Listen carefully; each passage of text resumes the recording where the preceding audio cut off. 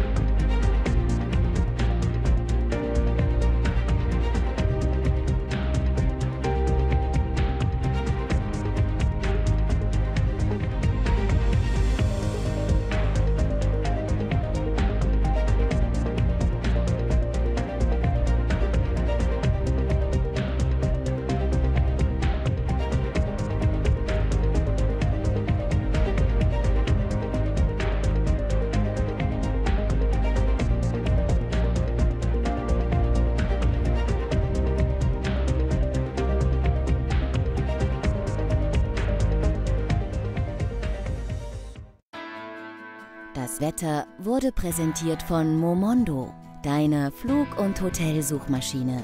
Momondo für Reisende wie mich.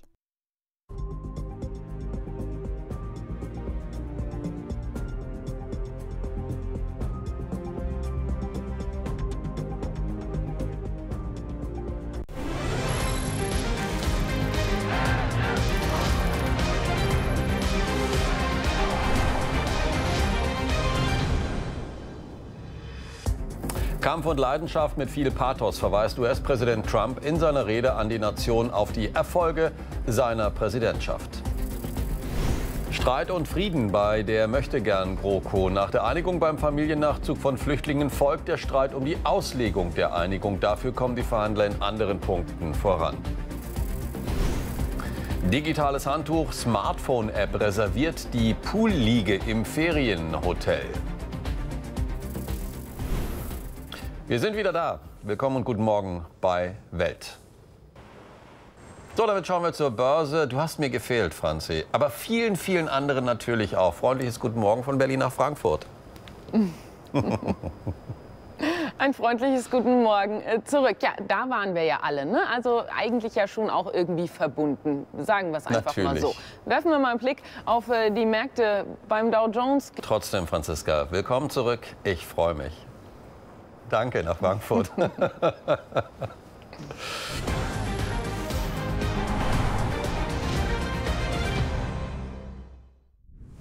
es läuft, liebe Zuschauerinnen und Zuschauer, bei Welt. Und damit guten Morgen und ganz herzlich zu, äh, willkommen zu den Nachrichten hier bei Welt.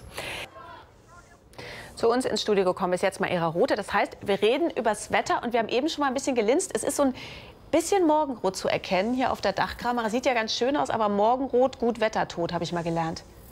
Richtig. Stimmt, ich weiß, ja, ja. Ich meine, das sieht, wir freuen uns ja schon über jeden Sonnenstrahl, ne? auch wenn er Stimmt. was Schlechtes weiß. Genau, man muss sich über den Moment freuen. Sieht ganz doch ganz genau. schön aus. Genau, wir leben im Hier und Jetzt, das ist gut. Ich glaube, Demokraten und auch wir alle sind gut beraten, uns auf die inhaltlichen Details zu fokussieren, wenngleich natürlich Melania und äh, diese Geschichten doch für Aufmerksamkeit Aber sorgen. natürlich, Herr van der Laar, aber Sie wissen doch, der ein oder andere oder die ein oder andere interessiert sich schon, was da zwischen Melania und Donald noch geht oder eben nicht. Danke für das Gespräch. Dankeschön. Nicht alle Ligen werden allerdings vorab zu buchen sein. Ein paar bleiben frei. So ein bisschen Sport im Urlaub tut ja auch ganz gut. Und spaßig ist das Ganze ja auch irgendwie, oder? Ich weiß es nicht. Also geht mir völlig ab, dieser Spaß. Aber es gibt so den einen oder anderen, haben wir ja gerade gesehen, der kann sich kaum halten vor. Ja, äh, Entschuldigung, ist, ja. Maira. Äh, wir kommen zu dir. Sonne würde uns auch gut tun. Also ich meine, schön, dass es uns wieder gibt. Ja, voll inhaltlich. Nur das Bild hier hinten ist ein bisschen scharf. Können wir da was machen? Regie? Nein. Es ist, es ist so trüb. Ach, das ist das Problem. Es ist so trüb. Ich dachte, ich habe die falsche Brille auf. Nein. Und äh, die Kamera ist es auch nicht. Das Wetter Soll ich dir was sagen? Es wird noch Ja, trüber. ist ja gut, Benjamin. Es wird das noch Wetter. trüber. Es wird, okay. Ja, also heute wird es so richtig ungemütlich, allerdings aber auch erstmal ungewöhnlich mild. Im Norden bleibt es eher bei Regen, also bis hierhin schafft es der Winter nicht, beziehungsweise noch nicht. Und weißt du was? Er braucht auch gar nicht mehr kommen. Danke fürs Wetter, Maira. Sehr gern. War ja im Vorfeld nicht alles äh, so äh, kunterbunt und rosig. Wie hat sich denn entwickelt, Franziska? Süß, wie du den Markt zusammenfasst und äh, beschreibst. Das gefällt mir sehr gut. Ja, in der Tat, nicht kunterbunt und rosig. Das kann man so sagen. Ist nicht so richtig gut gelaufen gestern für den DAX. Dafür sehen wir heute hier einen Stabilisierungsversuch. Dann aber schon mit der Farbe Rot. Also bunt, grün, passt. Hm, ja, und das mit den guten und schlechten Tagen passt auch. Ja, es gibt sie, die guten und die schlechten. Und gestern war ja eher ein schlechter, für uns zumindest. Danke nach Frankfurt. Absolut, absolut. Da wird ein nachgebautes Wikinger-Schiff einfach abgebrannt. Schön warm dort. Brauchen wir momentan auch so ein bisschen Wärme oder warme Gedanken, weil. Ach komm, also darüber können wir nun wirklich nicht meckern. Mild ist es. Aber halt ungemütlich. Das Wetter. Kein Widerspruch, das Wetter. Oh, danke. Trump die Amerikaner zur Einigkeit auf, preist die Aufbruchstimmung im Land und kündigt an, dass das US-Gefangenenlager Guantanamo doch offen bleiben soll. Zur Rede der Nation an die Lage der Nation. Gleich mehr in der Sendung, bleiben Sie dran.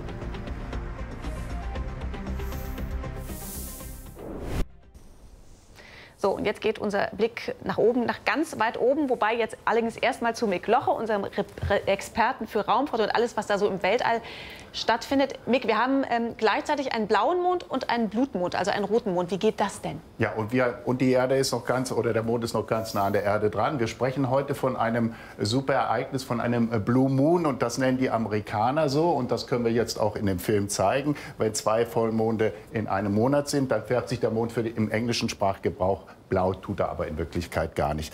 Der Witz der ganzen Geschichte, das Spektakuläre ist, äh, der Mond eiert quasi um die Erde herum. Er ist also nicht kreisrund unter, unter, unterwegs und deshalb ist er jetzt heute sehr nahe, sehr, sehr nahe. Apogeum ist fern von der Erde unterwegs und heute ist er sehr nahe dran an uns, 363.000 Kilometer. Und das ist das Besondere denn er erscheint uns damit 30 Prozent heller und natürlich auch entsprechend größer, weil er nahe dran ist. Also wir sehen es hier nochmal, Apogeum, wenn der Mond ganz weit weg steht und wenn er ganz nah dran steht, erscheint uns das Ganze heller. Also das ist ein Phänomen von dreien, die heute geschehen. Das Interessanteste ist vielleicht der äh, Blutmond, der sogenannte Blutmond sehen wir hier im Bild. Äh, das Phänomen entsteht, wenn sich äh, die, äh, der Schatten der Erde über den Mond legt. Das sehen wir hier ganz schön. Ich gehe mal ein bisschen zurück. Die Sonne streift nur noch die Erde und die Strahlen, die dann am Mond noch ankommen, die färben ihn durch langwelliges Licht dann rot. Der sogenannte Blutmond ist aber nur im pazifischen Raum in Asien zu sehen, nicht bei uns. Bei uns ist der ganze Zauber leider erst um, 5, äh, um 17 Uhr zu sehen, wäre er zu sehen, aber da ist er schon vorbei. Wir sehen hier, wie die äh, Mondfinsternis hier vorbeizieht und wir sind dann in 17 Uhr, wenn bei uns etwa der Mond aufgeht, ist dieser Spuk vorbei, ist dieses äh, Phänomenale vorbei den super blauen äh, Mond, den Blue Moon und den Supermoon und den, äh, den super nahen blutigen Mond, den sehen wir natürlich äh, 2037 wieder. Es gab es bei uns schon mal in Europa in den 80er Jahren. Also ein Spektakel, auf das sich viele im asiatischen und pazifischen Raum werden freuen können. Super Blue Blood Moon. ich freue mich drauf. Und die besten Bilder gibt es natürlich dann hier bei Welt. Ist genau. klar. Also ein SBBM, ja? So ist es. Mick, danke schön. Gerne. Wieder was gelernt. so, jetzt schauen wir zur Wirtschaft und zur Börse. Einmal mit Franziska den SBBM erleben. Das wär's. 2031 hast du gesagt, Mick? Ja. 2031. Was hältst du davon, Franziska? 2031, wir beide den SBBM. 2031? Du und ich, absolut. Ich äh, trage es mir direkt ein, sobald wir das Datum haben, oder? Wäre schön. Also ich doch, irgendwie eine nette Idee. Wie lange ist denn das noch? Das sind noch äh, 14 Jahre, ne? Also ich naja, hoffe, bis dahin ich hoffe dass ich... machen wir das noch. Äh, nee, ich sag's jetzt nicht, aber sehr gern. Sieben, sieben, nee, 37 sagt Nick äh, Locher gerade noch mal. Also wir haben noch ein bisschen Zeit. Ja, wir können das echt oh. generalstabsmäßig vorbereiten. Ah, ja, gut, dann, dann können wir das, alles klappt. Boah, dann, dann wird das ein richtiges Event. Also dann passt wirklich alles. Das wird toll. Werfen wir einen Blick auf den Markt. Nicht ganz so toll läuft das für den deutschen Leitindex. Franziska, danke schön nach Frankfurt. Bitte schön, das Wetter mal Ihre. Dankeschön. Bitte. Ganz wie der Regisseur es wollte. Kurze Übergabe. Nee, es ist zu schlecht, das Wetter, als darüber Man zu reden. Man möchte nicht drüber reden, ne? Ja. Du hast vergessen zu sagen, dass der Winter jetzt doch noch kommt. Danke, Hab mal ich vergessen, ja? Hm, Okay. Ich weiß es nicht. Ich brauche ihn nicht mehr. So, Franziska, ja, so, zack, eindrehen. Wir sind drauf. Los, weiter geht's von der Aktionär TV. Franziska Schimke in Frankfurt. Wir wollen natürlich wissen, Mitte der Woche, was macht unser DAX über Bitcoins und so haben wir eben geredet. Jetzt wollen wir handfeste Werte haben vom DAX. Und genau deshalb habe ich mich eben noch mal umgedreht, um zu gucken, wie der DAX tatsächlich gerade aufgelegt ist. Und wenn das so schnell geht, rauf und runter, immer mal wieder umdrehen. Natürlich alles die aktuellsten Werte. Dankeschön, Franziska, nach Frankfurt. Und bei uns im Studio ist jetzt Mick Locher und das heißt, wir reden über Raumfahrt und alles Mögliche, was so im Weltall stattfindet. Und es ist ja Hier so einiges, genau der Mond. Der Mond und Der ist ja äh, nun eigentlich immer da, aber jetzt ist gerade alles irgendwie total besonders. Entschuldige, wenn ich dich unterbreche, aber es ist natürlich ein wunderbares Bild hier von der NASA geliefert. Der Vollmond, äh, schön zu sehen. Es erscheint uns ein bisschen größer als sonst, aber das ist nicht das Entscheidende, denn wir sprechen ja heute von einem fantastischen äh, Mondtag mit drei speziellen Ereignissen und eines davon ist der sogenannte Blue Moon. Und das Blue Moon steht im Englischen für zwei Monde, die innerhalb eines Monats erscheinen, und zwar zwei Vollmonde. Und das wollen wir uns jetzt vielleicht hier auf der Karte mal angucken, wenn sie denn nun kommt. Im Moment ist sie noch nicht da. Hier sehen wir es, hier war sie. vielleicht kommt sie gleich noch mal. Also es gibt zwei Vollmonde heute in diesem Monat, im Januar.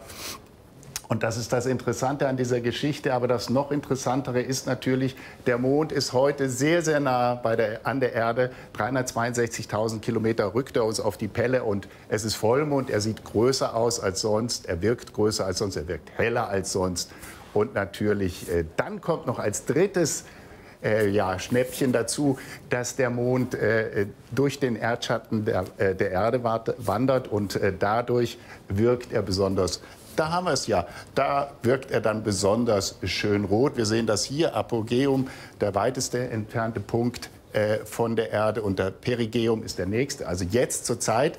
Und das bedeutet, dass er, wie ich habe es gerade erzählt, 363.000 Kilometer zu uns steht. Und das wiederum bedeutet, er wirkt wunderbar, haben wir gerade live gesehen in, dem Nase, in den NASA-Aufnahmen, 30 Prozent heller. Und er wirkt auch ein bisschen größer, 14 Prozent ungefähr wirkt er größer, weil er jetzt eben so nahe an der Erde steht. Aber das Entscheidende und das äh, Schönste heute, was wir in den nächsten Stunden noch sehen werden live, ist, dass der Mond durch den Erdschatten wandert und der Kernschatten der Erde wird ihn verdecken, aber nicht ganz, denn dann werden die Sonnenstrahlen, die an der Erde vorbeischrammen, langwelliges Infrarotlicht, werden ihn in dieses rote Licht tauchen, in diesen äh, Blutmond und äh, das ganze Spektakel findet in Asien im pazifischen Raum statt. Ungefähr eine gute Stunde wird dieser volle Blutmond äh, zu sehen sein. Dann ist das äh, Spektakel vorbei.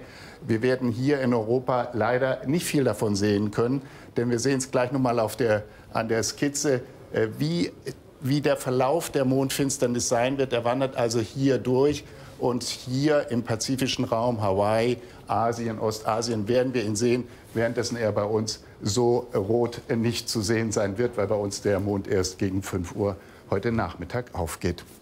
Also rekapitulieren wir nochmal super blauer und äh, Blutmond und Mondfinsternis, alles zusammen, gibt es erst wieder 2037 bei uns in Europa zu sehen.